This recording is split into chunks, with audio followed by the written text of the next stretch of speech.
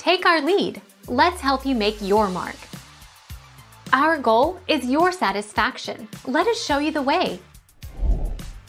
Emma Caulfield, Buffy the Vampire Slayer, Anya Jenkins, played by San Diego native Emma Caulfield, real name Emma Chukker, was only 25 years old when she landed the role of the Vengeance Demon turned high school student Anya Jenkins, who sets out to retrieve her powers again in Sunnydale, California, on the 90s supernatural show, Buffy the Vampire Slayer.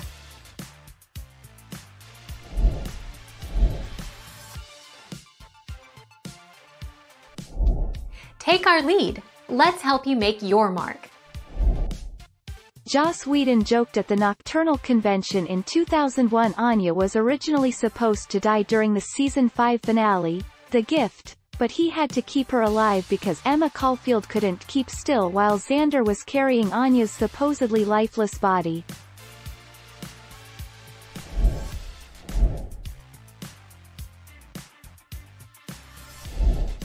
Take our lead.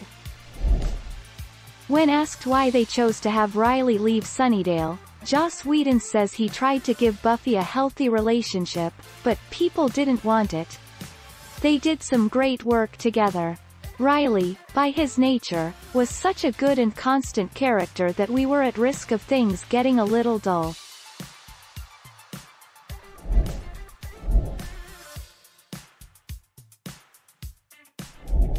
Take our lead. Let's help you make your mark. While Anya didn't directly sacrifice herself for Andrew, she did choose to fight alongside him knowing that he was weaker, more vulnerable, and had less fighting skill than the others.